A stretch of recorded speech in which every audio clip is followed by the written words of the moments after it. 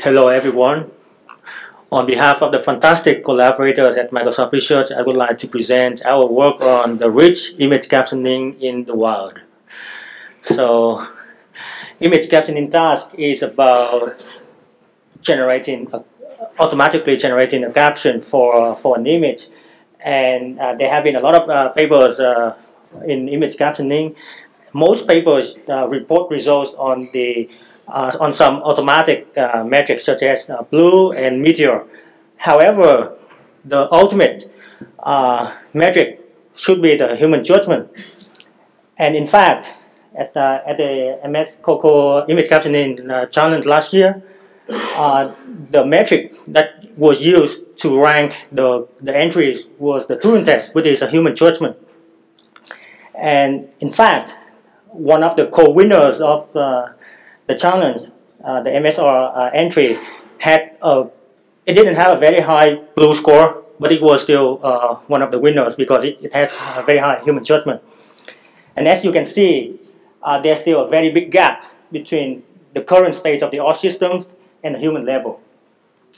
So we identified three major problems in the current stage of image captioning the first problem is that the, even the very best captioning systems today are still very baby compared to human level.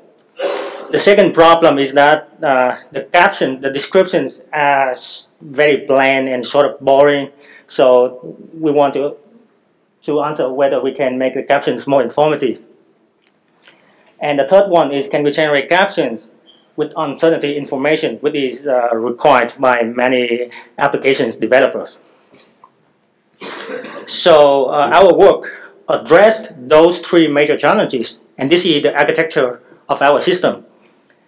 Uh, so I will explain more about this architecture later at the poster, but the overall uh, view is that it's not as simple as feeding uh, the convolutional network features to an RNN. So our model is actually compositional. It contains uh, quite a few modules. And here are some uh, example captions generated by our system. Uh, so you can see that it can detect celebrities and knows how to fuse uh, uh, celebrity or landmark information into the captions to make the captions uh, way more interesting.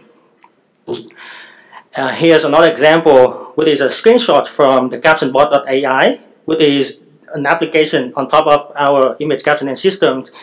It, because of the uncertainty information, so it can say, uh, I am not really confident, but uh, and such.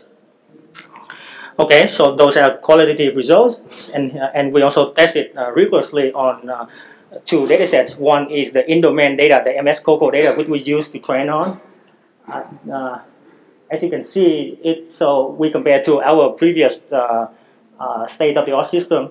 Uh, so on the in-domain data, uh, our system is uh, better uh, than the previous system in human judgment.